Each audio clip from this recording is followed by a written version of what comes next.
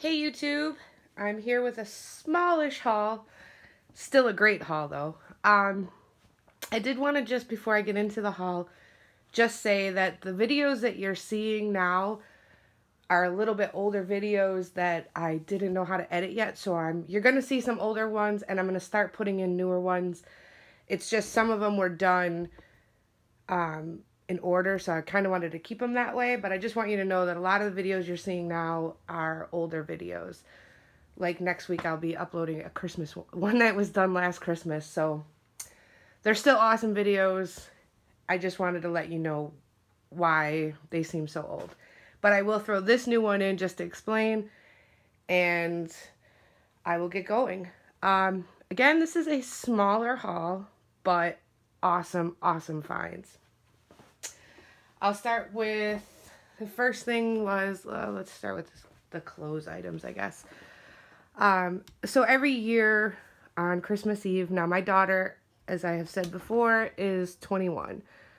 But every year for Christmas Eve, I get her a new outfit to wear for Christmas night, new pajamas or whatever.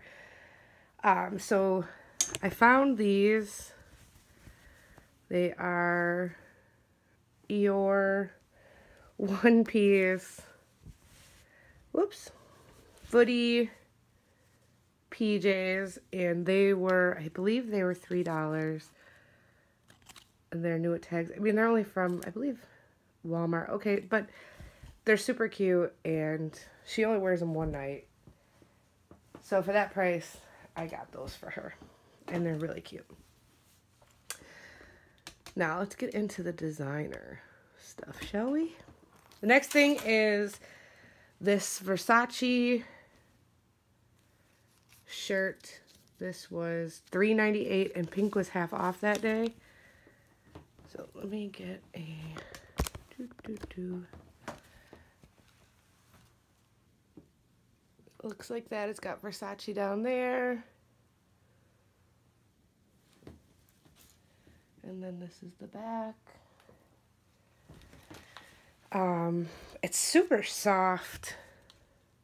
Versace made in Italy. I don't believe this is fake. I'm going to look into it a little more, but it doesn't look or feel fake. So, so this was $2. This is the bottom of the Versace shirt. And this is the top. I don't know if this is a men's or a woman's. It's kind of fitted. Let me get back here if you can see. It's kind of fitted and it's not, it doesn't, it wouldn't fit any extra large boy I know. So you can tell me what you think if this is, I like it for me. I was gonna just keep this for me with a pair of ripped up jeans or something maybe. I don't know. I might not be able to pull it off. um, okay, next was this winter cranberry soap from Bath and Body Works. This was a dollar. It was in like a gift bag. Like somebody must have won it and donated it um, for a dollar. I love my hand soaps. uh, this was also a dollar and it is a BKR water bottle. And these are like super popular right now. Uh, I'll take it out of this. This is just like a little rubber sleeve. You take it out and then I'll boil this and it's glass. And this was 99 cents. I actually saw the exact same one at the Goodwill probably about a week prior, two weeks prior, and they wanted four dollars for it. I was like, "Are you crazy? It's a used water bottle, four dollars." So good things come to those who wait, because I did pass on that one. Next, I got this Bode leather uh, iPad case. Bode, New York. And these are fairly expensive. Uh, I have a couple Michael Kors cases. Um, I did have a Kate Spade one, but I bought that one for my daughter. I showed that in a previous video, which you may not have seen once I show this. Um, but these are just nice for just when I'm reading a book because they're light. My other Michael Kors ones are more travel with like wallets and stuff in it. So that, oh, sorry. that was $2.50.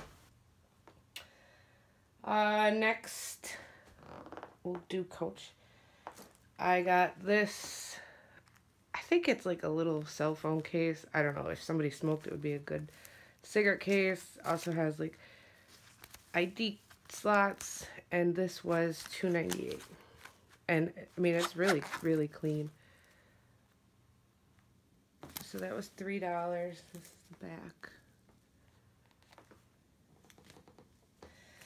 This little spot here, I don't know what that is, but as I've said in other videos, I will just throw this right in the washing machine and get that little mark and that little mark right off.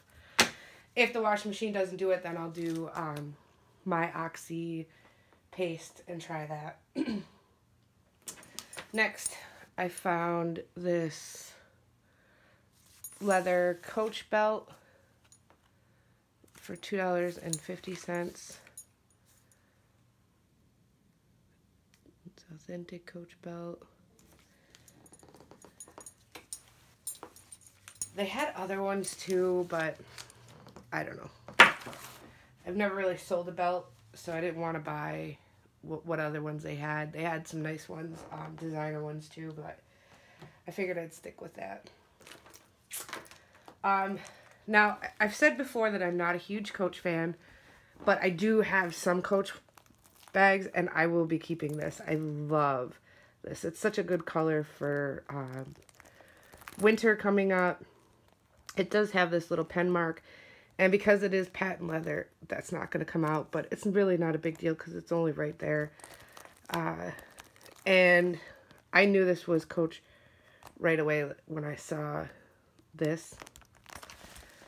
Here's the inside, and this was $3.98. Super clean inside. And then it's got this back zipper, but it's really, really pretty. I love, I love this, like, I guess it's like a wine color, and it's not a small, tiny wristlet. It's just the perfect size. So I'm happy, and I will be keeping that. Uh, this was actually inside of it, and they told me to keep it. But I like to get these because sometimes I find things that are missing the strap, so I like to pick up extra straps. Now this,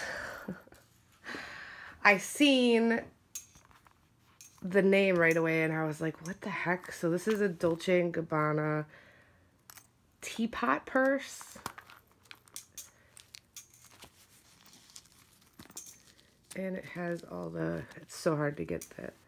It's like a little change purse.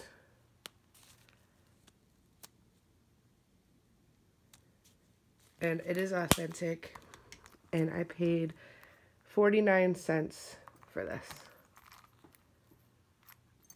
I just thought it was funny. So, I mean, I got a lot of designer, high-end designer stuff this shopping trip with the Versace and the Dolce. And then this, oh, shoot. These are all from, everything here was from Amvets except for this. This was from a little um, this was from the City Mission thrift store, and this was 50 cents. Um, this was 2.98, and I have seen a bazillion of fake Fendi bags. But when I saw it, I was like, I don't think this is fake. And after doing some research, it's not, but oh, I don't know if you can see that here. The only thing wrong with it is this. And I will take it to um, my cobbler guy that fixes stuff. But otherwise, it's in really good condition. It's got a little spot right there, which is, is not a big deal. And I'm not the only one that does this in my area. There's lots of women that do it, and actually a few men too. So I don't think they realized that this was real. Here's the Fendi made in Italy. And does this have a... I can't remember if this had a serial number. Oh yeah, here. There's the serial number. And this was, this cost me $5 to fix. And this was $2.98. So for $3, a Fendi pochette, baguette, something, something like that. And then it says Fendi here. so it's a cute little size bag. I don't like these kind of bags. If it was a wristlet, I would do it. And maybe I could talk to the guy to fix it as a wristlet. Now, I showed this in another video. This Dior crossbody city bag. And it had, that side had broke off. I bought this at a garage sale for $4 because this side was off. And I got it fixed for 5 bucks from my cobbler guy. I get so many compliments on it. I love this bag. uh, okay, my last two items are these Donald, and this is just, this will come off. Because these are like a suede-ish. Um, Donald Pliner boot, and these were $9.98, and they were half off that day. These were $5 for something. And they're super cute. Donald Pliner is a very expensive brand.